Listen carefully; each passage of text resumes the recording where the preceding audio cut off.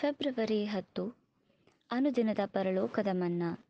ಈ ದಿನದ ವಾಕ್ಯ, ಯವನಸ್ಥನೆಂದು ನಿನ್ನನ್ನು ಅಸಡ್ಡೆ ಮಾಡುವುದಕ್ಕೆ ಯಾರಿಗೂ ಅವಕಾಶ ಕೊಡದೆ ನಂಬುವವರಿಗೆ ನಡೆ, ನುಡಿ, ಪ್ರೀತಿ, ನಂಬಿಕೆ, ಶುದ್ಧತ್ವ, ಇವುಗಳ ವಿಷಯದಲ್ಲಿ ನೀನೇ ಮಾದರಿಯಾಗಿರು.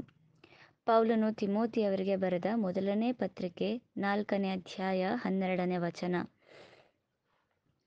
ಪ್ರತಿಯೊಬ್ಬ ಕ್ರಿಸ್ತ ಭಕ್ತನು ಇತರರಿಗೆ ತನ್ನ ಮಾದರಿಯನ್ನು ಅನುಸರಿಸುವ ಯೋಗ್ಯತೆಯನ್ನು ಸಂಪಾದಿಸಲು ಪ್ರಯತ್ನಿಸಬೇಕು. ಅಂದರೆ ಕ್ರಿಸ್ತನ ಸೇವೆಯಲ್ಲಿ ಉತ್ಸುಕತೆಯನ್ನು ತೋರುವ ಹಾಗೂ ತನ್ನ ನಿತ್ಯ ಜೀವನದಲ್ಲಿ ಕ್ರಿಯಾತ್ಮಕವಾಗಿ ಕಾರ್ಯನಿರ್ವಹಿಸುವ ಪ್ರಯಾಣಿಕನಾಗಿ ಹುಮ್ಮಸ್ಸಿನಿಂದ ಕ್ರಿಸ್ತನನ್ನು ಅನುಸರಿಸುವ ಮಾದರಿಯಾಗಿ ಜೀವಿಸಬೇಕು. ಆದರೆ ಈಗಿನ ಜೀವನದಲ್ಲಿ ನಾವು ಮಹಿಮೆಯುಳ್ಳ ನೈತಿಕ ಸ್ಥಿತಿಯ ಪರಿಪೂರ್ಣ ಮಾದರಿಯನ್ನು, ಧಾರ್ಮಿಕ ಪರಿಶುದ್ಧತೆಯನ್ನು ಪಡೆಯಲು ಸಾಧ್ಯವಿಲ್ಲ. ಈ ಮಹಿಮಾ ಗುಣಲಕ್ಷಣಗಳು ಕ್ರಿಸ್ತನಲ್ಲಿರುವುದನ್ನು ನಾವು ಕಾಣಬಹುದು. ಈ ರೀತಿಯಲ್ಲಿ ನನ್ನನ್ನು ಅಥವಾ ನಮ್ಮನ್ನು ಅನುಸರಿಸಿ ಎಂಬುದಾಗಿ ಅಪೋಸ್ತಲನಾದ ಪೌಲನು ಎಂದಿಗೂ ಹೇಳಲಿಲ್ಲ.